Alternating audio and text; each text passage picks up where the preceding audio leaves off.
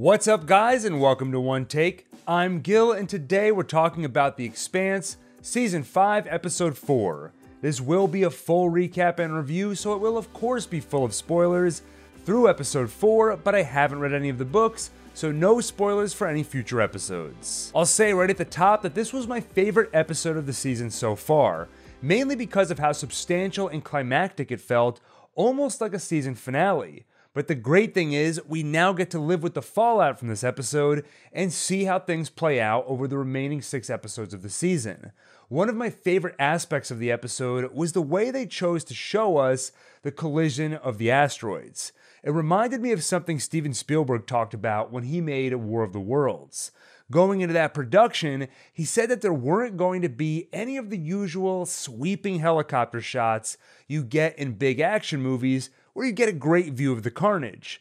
Instead, everything was going to be from the perspective of the people on the ground.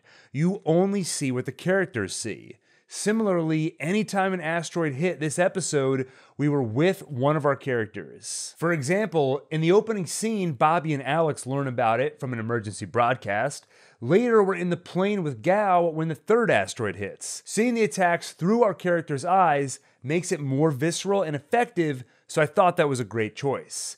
Anyway, love the episode. Let's jump into the recap. But first, just a quick reminder if you're enjoying these videos, please go ahead and hit that like button, hit the subscribe button, and hit the bell icon so you get notified the next time we do a video. We start the episode with Alex and Bobbie on the Razorback. If you pay attention, you'll see it says Razorback on the screen before that's replaced with Screaming Firehawk.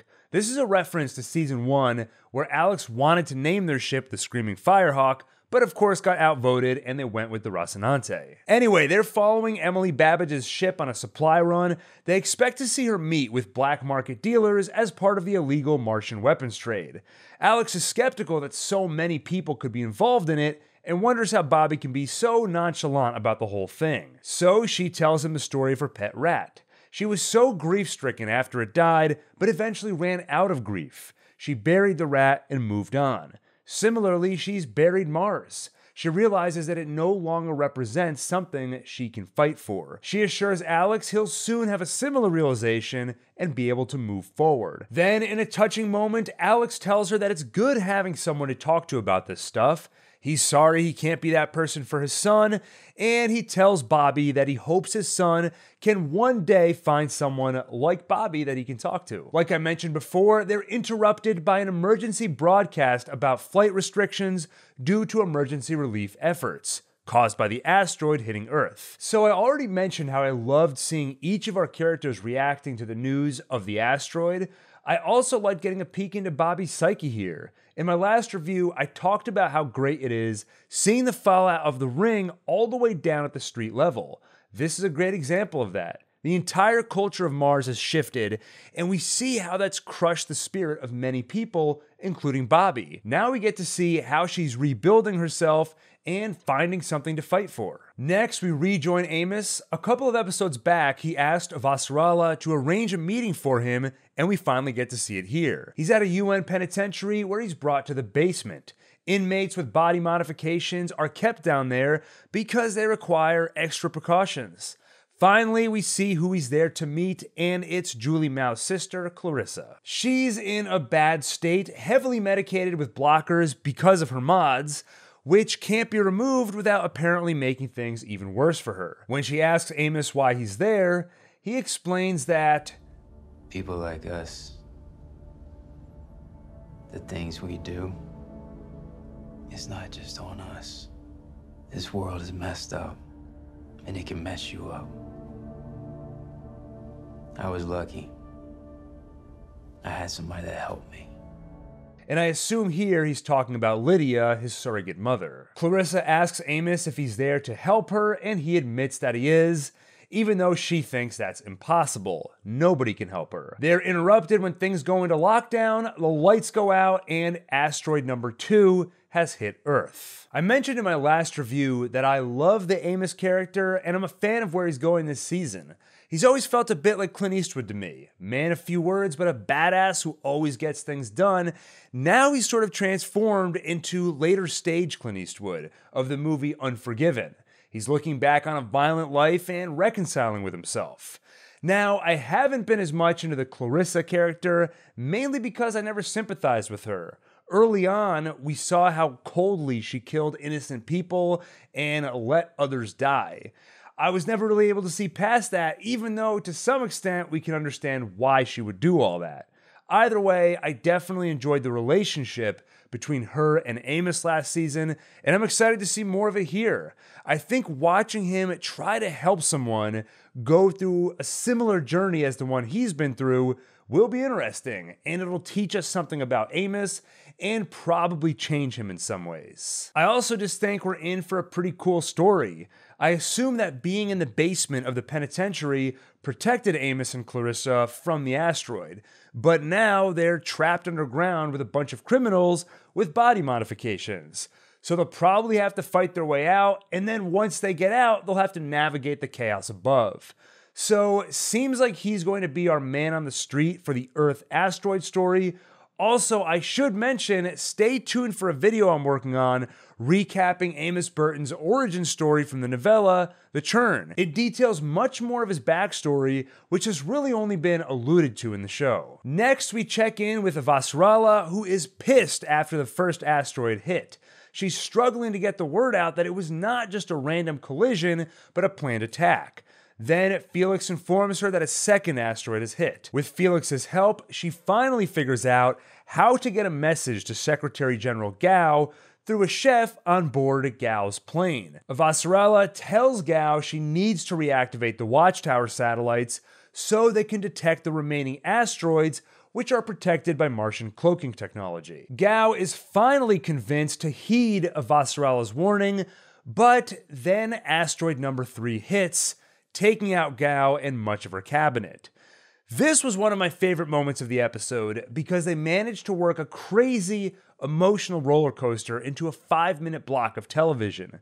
We start with the rage and urgency as Avasarala worked to figure out how to get her message through. Then we have triumph as she finally gets the message out, but moments later, that's undercut by another freaking asteroid hitting Earth. Again, we're shaken by it all the more because we're experiencing it through her eyes. And it's a major status quo shift less than halfway through the season. It's a bold and awesome choice. Next, we check in with Holden and Fred. They're pulling the trigger on their Trojan horse plan. Basically, the people who kidnapped Monica expect to find her in a shipping container, but instead, they'll find Bull and a couple of his men. A ship called Zamia approaches to pick up the container, but turns out they're not there to pick up a shipping container at all. Instead, they attack. Suddenly, Sakai shoots Fred and goes in search of the protomolecule. In his last breaths, Fred tells Holden that the protomolecule is in his quarters. With security fully engaged holding off the attack, Holden heads to Fred's quarters himself. He shoots one of Marco's goons, but finds a droid digging out Fred's protomolecule. Holden tries and fails to stop the robot, so the droid grabs the protomolecule sample and Sakai ejects it sending the protomolecule to Marco Inaros. First, I gotta say that Fred and Bull's plan here was pretty terrible. Even if the bad guys did pick up the shipping container, you have no idea what kind of firepower they'll have, so you just don't know what you're stepping out of that shipping container into. But either way, the moment the coup began was incredible. I was genuinely shocked to see Fred shot. Also, just like with the asteroids, Fred's death was shown to us in an interesting way. On most other shows, we would have been in the hospital room as they're trying to save his life. We'd hear them yell clear, try to zap him a few times, then CPR, etc. Instead, we experience it through Holden's eyes. We see Fred taken away, then the next time we see him, he's bloody and dead. We see towels drenched in blood everywhere, so we understand the fight that took place as they tried to save his life. In the last few episodes, we saw Holden mulling over his place in all this.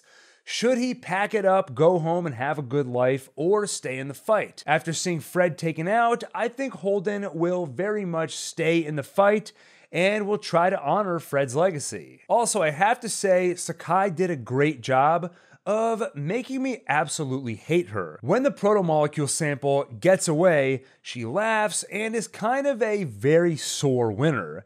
It felt very naive to me, as if it's all a game to her, even though she is culpable or at least okay with the deaths of millions of people on Earth. I think this plays into the show's narrative that Marco is a charming leader whose rhetoric can get people like Sakai to commit atrocities. These are the best kinds of villains, where we can hate them and at the same time understand them. Next, we go back to Avasarala. She leaves a message with her husband, begging him to reply and just let her know that he is okay. From Felix, she learns that there is still uncertainty over who is next in line to succeed Gao. But the watchtowers are being retasked, Felix also apologizes for not fighting harder to get people to listen to them. Then takes a Avasarala to a common area where people are congregating and comforting each other. Finally, the Watchtower detects a fourth asteroid and stops it. Now, when Felix takes a Avasarala to this room, there's one guy in the foreground who says, I can't even believe this is happening. It's devastating. For some reason, that line hit me as super cheesy, like they just needed a one liner so we understand the topic on everyone's mind in that room.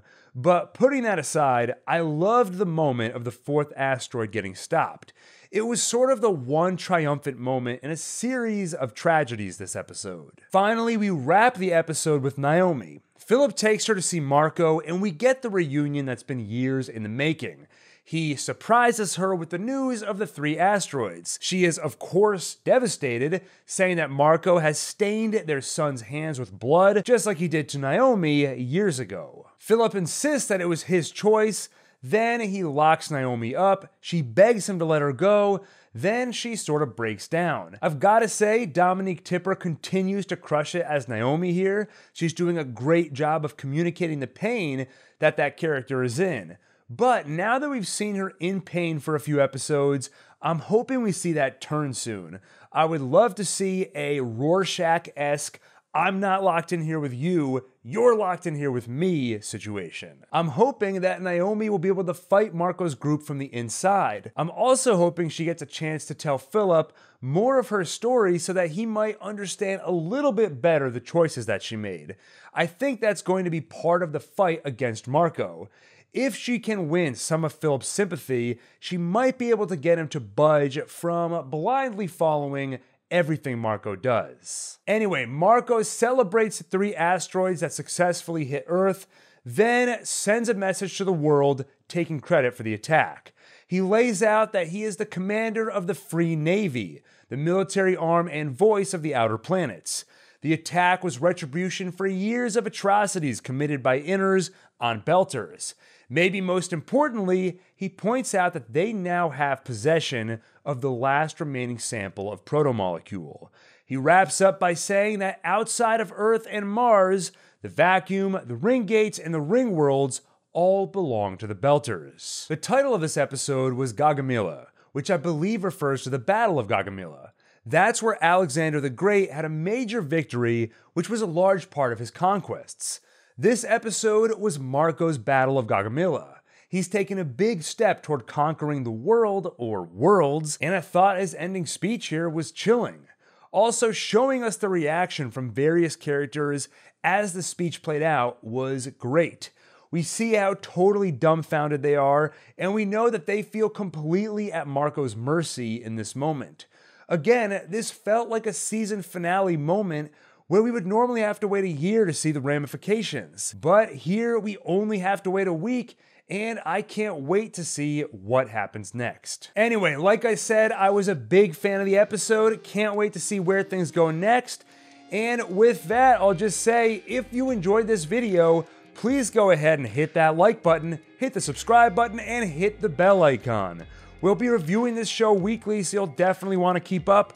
Also, let me know in the comments what you thought of the episode, and we'll keep the conversation going. With that, thanks for watching, and see you on the next One Take.